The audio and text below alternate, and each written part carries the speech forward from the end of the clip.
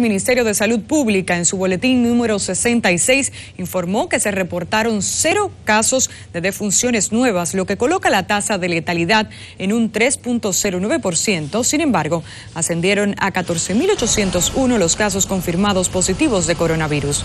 Los casos nuevos suman 379, mientras que de los pacientes hospitalizados, 122 se encuentran en unidad de cuidados intensivos, 54.10% en centros del Gran Santo Domingo, 27.8 en Santiago y 11.4 en la provincia Duarte. Los fallecidos en total son 458, mientras que la mediana de edad del total de casos continúa siendo de 41 años. En las últimas cuatro semanas, la incidencia de positividad en las muestras procesadas se sitúa en 19.13%. Según la última rueda de prensa del Ministerio de Salud Pública, los boletines se discutirán tres veces por semana en los días lunes, miércoles y viernes.